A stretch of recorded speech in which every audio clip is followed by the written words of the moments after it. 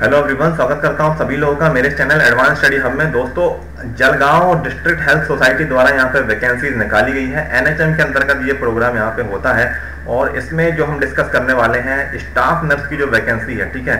इसमें क्या क्या मांगा गया? देखिए दोस्तों, यहाँ पे स्टाफ नर्स की वैकेंसी है। इसमें जीएनएम वाले कैंडिडेट और बीएससी नर्सिंग वाले कैंडिडेट हो सकते हैं। कोई भी डिग्री आपके पास हो तो यहाँ पे इस फॉर्म को आप भर सकते हैं। कोई भी एक्सपीरियंस इसमें नहीं मांगा गया है। बीस हज़ार रुपए इसमें यहाँ पे तनख्वाह फिक्स करी हुई रखी है। और इसमें जो वैकेंसीज वगैरह आई हैं, और भी इसमें वैकेंसीज हैं, ठीक है? सबसे पहले यही वाला पेज हम यहाँ पे डिस्कस कर लेते हैं। पंद्रह से लेके यहाँ पे तेईस वाला, ठीक है? तो यहाँ पे स्टाफ नर्स की वैकेंसी तो हमने आपको बता दी सुपरवाइजर की भी है यहाँ पे, ठीक है?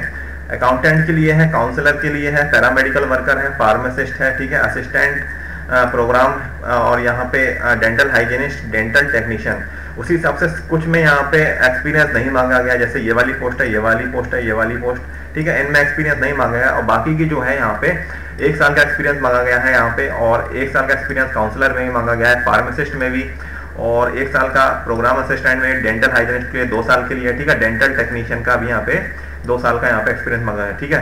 वैकेंसीज वगैरह भी आप सभी लोग देख लीजिए यहाँ पे, जो भी आपकी कैटेगरी है, उसी हिसाब से आप लोग अपनी अपनी वैकेंसीज यहाँ पे फिल कर सकते हैं। और क्वालिफिकेशन यहाँ पे नॉर्मल क्वालिफिकेशन रखी गई है सारे कैंडिडेट्स के लिए, कि सारे के सारे जितने भी कैंडिडेट्स हैं, इसको यहाँ पे इजीली तरीके से फिल कर सकें। और हेल्थ डिपार्टमेंट की ये जॉब है तो यहाँ पे जो वैकेंसीज आई गई हैं नॉर्मल क्वालिफिकेशन इसमें यहाँ पे रखी गई हैं, ठीक है? और यहाँ पे ये नीचे वाला पेज हमने यहाँ पे डिस्कस किया, ऊपर वाला पेज और हम यहाँ पे डिस्कस कर लेते हैं, ठीक है? एक से लेके यहाँ तक, ग्यारह तक के कैंडिडेट्स को मैं बता देता हूँ। और इसमें भी वैकेंसी दे दी गई हैं कार्डियोलॉजिस्ट की है पीडियाट्रिशियन की है एनेस्थेटिस्ट की है, और यहाँ मेडिकल ऑफिसर डेंटिस्ट वगैरह यहाँ पे जितनी भी वैकेंसीज हैं, आप लोग यहाँ पे धीरे धीरे अगर आपके पास क्वालिफिकेशन है, ठीक है ऊपर जितनी भी वैकेंसीज है, इनकी क्वालिफिकेशन है और जिनमें एक्सपीरियंस मांगा है एक्सपीरियंस है तो आप लोग इस फॉर्म को यहाँ पे फिल कर सकते हैं, ठीक है? ये सारी चीज़ जितनी भी है एक्सपीरियंस वाली है और सैलरी पैकेज भी बढ़िया है यहाँ पे। देखिए एमबीबीएस का यहाँ पे मेडिकल ऑफिसर के लिए यहाँ पे साठ हज़ार रुपए तनख्वाह फिक्स है और यहाँ पे पूरी की पूरी वैकेंसी टेबल हमने बता दी है, ठीक है? ग्यारह तक आप सभी लोगों ने देख लिया है स्क्रीन लेकर भी आप सभी लोग इसको पढ़ सकते हैं धीरे धीरे और यहाँ पे बारह, तेरह और चौदह, ये तीन और रह गए हैं तो ये वाला भी देख लीजिए। ठीक है साइकोलॉजिस्ट ऑप्थर्मिस्ट ऑप्टोमेट्रिस्ट ठीक है साइकाट्रिस्ट ये सारी की सारी यहाँ पे है। सॉरी फिजियोथेरेपिस्ट है साइकेट्रिस्ट मैं उसको बोल रहा हूँ। थोड़ा गलत पढ़ लिया है मैंने।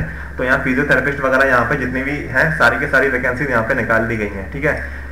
साइकोलॉजिस्ट के लिए यहाँ पे कोई भी एक्सपीरियंस नहीं मांगा गया है। बाकी जितनी भी क्वालिफिकेशन है रिलेटेड है इन चीज़ों से और यहाँ पे जो भी वैकेंसीज है, उनसे यहाँ पे डिग्री यहाँ पे मांग ली है, ठीक है?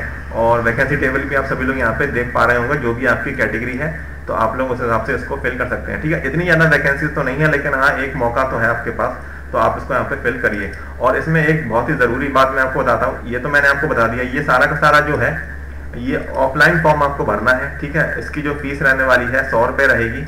रिज़र्व कैटेगरी के लिए और बाहर के कैंडिडेट जो रहेंगे उनके लिए यहाँ पे डेढ़ सौ रुपये मीन अनरिजर्व कैटेगरी और अदर स्टेट्स के जितने भी कैंडिडेट्स हो सकते हैं तो उनके लिए यहाँ पे ये डेढ़ सौ रुपये फ़ीस रखी गई है, ठीक है?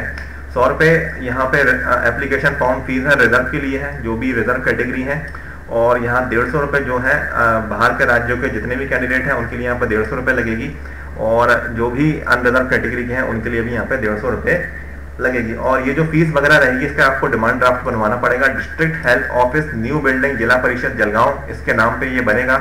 और बैंक में जाइएगा तो ये आप लोगों को डिमांड ड्राफ्ट बन जाएगा। ठीक है, इसमें जो वैकेंसीज है दोस्तों, इसमें और मैं डिस्कस कर लेता हूँ आप सभी लोगों से। वैकेंसीज जो है, यहाँ पे कॉन्ट्रैक्ट बेसिस पे हैं और ये रेगुलर बेसिस पे नहीं है। ठीक है और ये इलेवेंथ मंथ का ये पीरियड होगा और इलेवेंथ मंथ तक आप लोगों का काम अगर अच्छा रहा तो उसको बढ़ा दिया जाएगा। वैसे ये जितना भी प्रोग्राम रहता है एक्सटेंड कर दिया जाता है, बढ़ा दी जाती है, क्योंकि स्टाफ की बहुत ही ज़्यादा कमी है, हर किसी सेक्टर में चले जाइए तो यहाँ पे स्टाफ बहुत कम है तो जितने भी वर्कर्स रहते हैं, उनको वहाँ पे परमानेंट कर लिया जाता है, अगर उनका काम वहाँ पे अच्छा पाया जाता है। और यहाँ पे देखने वाली बात एक और है यहाँ पे तो इसका ये जो फॉर्म होगा ऑफलाइन भरा जाएगा और इसमें जो वैकेंसीज वगैरह हैं, ये पोस्ट बढ़ भी सकती हैं और घट भी सकती हैं, ठीक है? बोला गया है मे चेंज ठीक है?